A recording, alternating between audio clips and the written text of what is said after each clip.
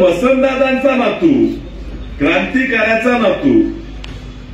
स्वतःच्या स्वार्थासाठी कुठेतरी पदावर बसण्यासाठी अशी तडजोड करा लागला तर वसंतदादांचा नातू शोभणार नाही. खरोखर माझ्या नशिबात खासदार व्हायचं लिहिलेलं असेल तर मी जनतेतून मी जनतेतूनच खासदार होणार. नाही नाही. खासदारांचा जीव महत्त्वाचा आहे. लाख मेरी चालते पण लाखाचा पोचला जागा आणि बोल ठीक आहे. त्यांना वाचूया. मला लागला तर आपण बघूया मला वाटते कधी कधी माझा अन्याय झाला. मला पंचवीस वर्ष वाटते माझा अन्याय झाला. आज विश्वित कर्मांनी त्या ठिकाणी ह्या गोष्टीला वाचा फोडली. माध्यमांच्या तर्फे त्यांनी वेगवेगळ्या मुलाखती देऊन खरंच कसा अन्याय होतोय हे त्यांनी दाखवून दिले पण मला अन्याय होत असताना आज तुम्हाला जाणीव झाली की विशालवर कदाचित अन्याय होतोय. आणि एवढं प्रेम तुम्ही दाखवलं की नंतर माझ्या लक्षात आलं की देवानी मला वसंतदादांचा नातू म्हणून वसंतदादांच्या घरात जन्माला घातले. आता ह्याच्याहून काय मोठा न्याय देवाने मला दिला पाहिजे? तर मला काय अन्याय झालेला नाही. देवाने मला ही वाट दिलेली आहे या घरात दिली आहे घराबरोबर जे जे मिळणार ते चांगलं मिळते त्याच्यावर काही वाईट मिळणार. दादांवर प्रेम करणारी जनता माझ्यासोबत आलेली आहे माझ्यासोबत आज राहते. तर दादांचे शत्रू सुद्धा मला त्रास देणार ह्याची जाणीव मला राहिली पाहिजे. आणि माझा प्रवास खर्तर असेल तर रस्ता खर्तर असेल तर खर्तर प्रवास करायची तयारी माझी राहिली पाहिजे. आणि ह्या प्रवासात तुम्ही सगळ्यांनी मला साथ द्यावी हे सांगण्यासाठी तुमचा आशीर्वाद घेण्यासाठी मी या ठिकाणी आलो. अपक्ष निवडणूक सोपी नाही. खूप आमिष आली. काय खर्च झाला असेल तर देतो. विधान परिषदेवर तुम्हाला पाठवतो राज्यसभेवर पाठवतो. येणाऱ्या विधानसभेत तुम्ही म्हणाल त्याला उमेदवारी देतो येणाऱ्या मिरजेच्या विधानसभेत म्हणेल त्याला उमेदवारी देतो. अगदी निवडून आला तुम्हाला मंत्री करतो. एवढ्या मोठे मोठे ऑफर त्या ठिकाणी आले. एखादा कार्यकर्ता म्हटला असतो बघा आता काय घ्या जावा पण जर वसंतदादांचा नातू क्रांतिकाराचा नातू स्वतःच्या स्वार्थासाठी कुठेतरी पदावर बसण्यासाठी अशी तडजोड करा लागला तर वसंतदादांचा नातू शोभणार नाही ही जाणीव आमच्या आमच्या नशिबाचे हे आहे ते होणारच आहे. जर खरोखर माझ्या नशिबात खासदार व्हायचं लिहिलेलं असेल तर मी जनतेतून मी जनतेतूनच खासदार होणार हे मी त्या ठिकाणी ठरवलं.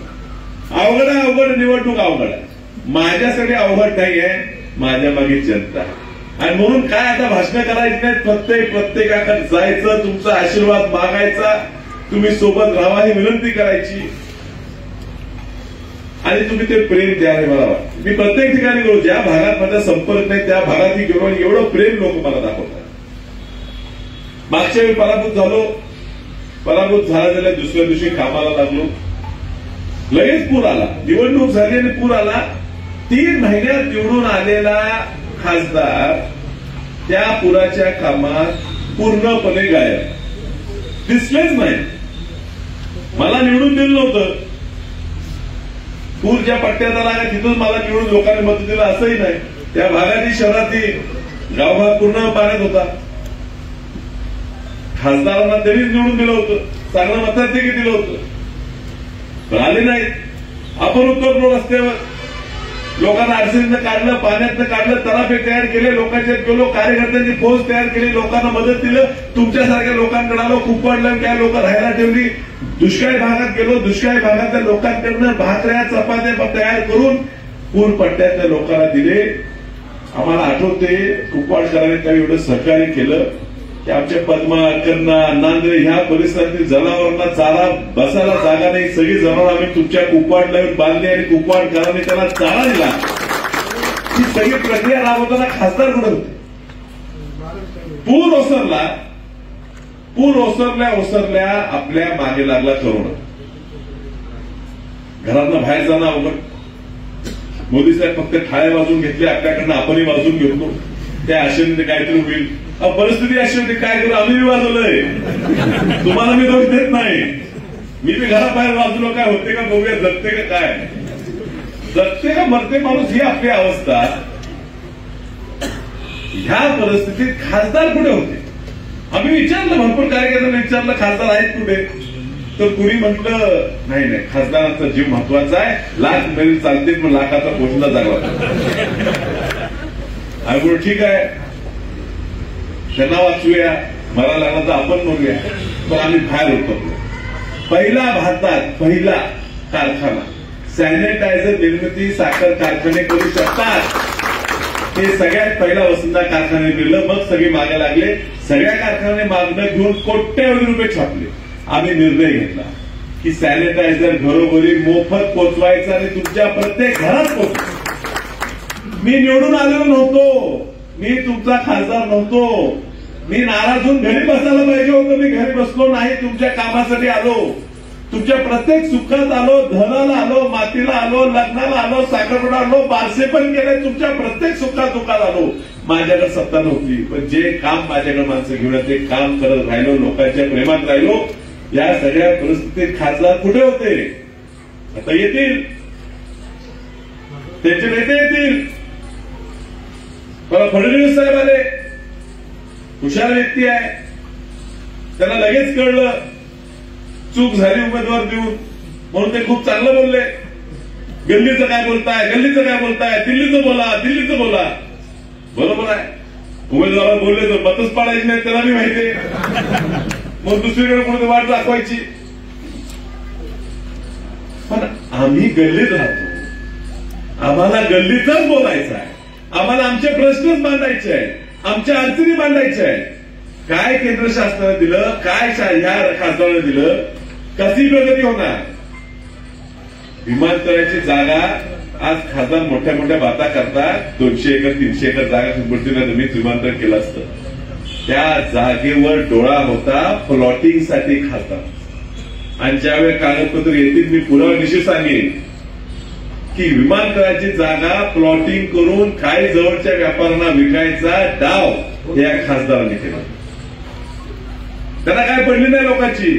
त्याला स्वतःची पडले. माझी प्रॉपर्टी तिप्पट चौपट. झाली तर आता कागदावर झाली आता बेनाम बेनामी किती झाली कुणाशी? तिथं दोन कारखाने मथुऱ्यात जाऊन दोन कारखाने. काय झालं ड्रायपोर्टचं आपला व्यापाऱ्यांचं शहर आहे. व्यापाऱ्याला गरजा आहे शेतकऱ्यांना गरजा आहे ड्रायपोर्ट केलं पाहिजे. बरं तुमच्याकडनं झालं नाही ठीक आहे. खोटं का बोलला? पेपरला बातम्या आल्या पेपरला बातम्या आहेत. संजय काकाने प्रेस कॉन्फरन्स घेऊन सांगितलं की ड्रायपोर्ट मंजूर झालं. आता ते ड्रायपोर्ट मंजूर करणार होतं लाच दिला मग म्हटले कुठं झालं? सलगरला. आम्ही कुठं जाऊ दे काहीतरी काम केलं खासदार टाळ्या पुन्हा सामाजिक कार्यकर्ते आता आपले कौटुंबिक साहेब म्हणले सतीश साखर या लोकांनी पत्र माहिती अधिकार विचारलं ड्रायपोर्ट मंजूर झालाय का? तर वर्ण उत्तर नाही ड्रायपोर्ट मंजूर झाला नाही. पार्किंग मल्टी पार्किंग लॉट मंजूर झाला. पण तो बी झाला नाही. म्हणजे मतं मिळवण्यासाठी किती खोटं बोला. वेटीच धरल्या लोकांना. मराठा आरक्षणाचा मुद्दा एवढा मोठा होता धनगर आरक्षणाचा मोठा एवढा मोठा मुद्दा होता. फक्त भांडणं लावलं. यांनी त्याच्यावर भांडायचं त्यांनी ह्याच्यावर भांडायचं एकामेकात भांडणारे भाजपला मत द्या ह्याच्या पलीकडे काय केलं? एकाही मुद्द्यावर खासदार प्रभावीपणे बोलू शकले नाही. तुमच्या अडचणी यांच्या अडचणी त्यांच्या अडचणी एकही अडचण खासदार दिल्लीत मांडू शकले नाही दहा वर्ष खासदार आहेत. वर्षात संपत ते दीडशे दिवस ती लोकसभा चालते. हजार ते पंधराशे वेळा लोकसभेत बोलायची संधी होती. मी म्हणतो चला बाराशे पंधराशे बोलला. वाटून घ्या सहा सातची गाव आहेत. एकदा तरी कुपवाड किंवा आसपासच्या गावाचं नाव दोनदा तरी निघालं असेल. असेल का नसेल? जाऊ दे मिरज विधानसभा मतदारसंघ सांगली विधानसभा मतदारसंघ तर एक दोनदा बोलले असतील की नाही? बाराशे वेळा संधी होती. अहो सांगली जिल्ह्याचं नाव जर काढलं असेल की नाही? बारा बाराशे दिवसात एकदा. एकदाही बोललं नाही. ना कुठला विषय मांडला. ना कुठली चर्चा घडवली. असे खासदार काय उपयोगाचे? कुणाला खासदार का व्हायचं आहे आणि त्यांनी खासदारकी का मागावी हेच त्यांना कळत नसेल. फक्त सत्ता घ्यायची कुठली प्लॉटिंग व्यवसाय खंडणी अशा गोष्टी धंदा चालावा म्हणजे तुम्हाला खासदार व्हायचं तर कसं हो माझी एक सगळ्यात मोठी माझ्याबद्दल तक्रार आहे की मी घराणेशाही करतो. माझे वडील आजोबा जे करत होते ती मला करायची इच्छा आहे. आणि हा लहानपणापासून आम्हाला एक इच्छा आहे की आपल्या वडिलासारखं आजोबासारखं मी झालं पाहिजे अशी माझी इच्छा आहे. मी काय धंदे करत नाही मी प्रामाणिकपणे धंदा करतो. गाड्या घेतो गाड्या विकतो धंदा करतो चार पैसे मिळतो माझं घर चालवतो त्यातनं चार पैसे आले तर मी राजकारण करतो. आमची घराची शिकवण आहे लोकांची सेवा करा निवडणूक लढली तुम्ही निवडून दिलं तर येईल नाही पडेल मला फरक पडत नाही पण मी प्रामाणिकपणे करतो.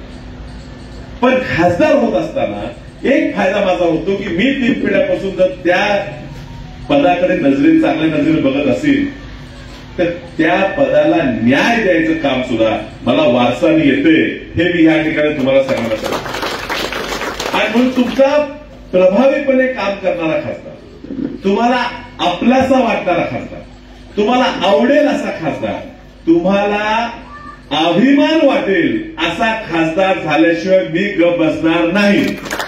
आणि पाच वर्षांनी तुम्ही मला ही जी मतदान दिलेलं आहे मला जे खासदार केलेलं आहे ती तुमची चूक झाली नाही. तुम्ही बरोबरच केलं.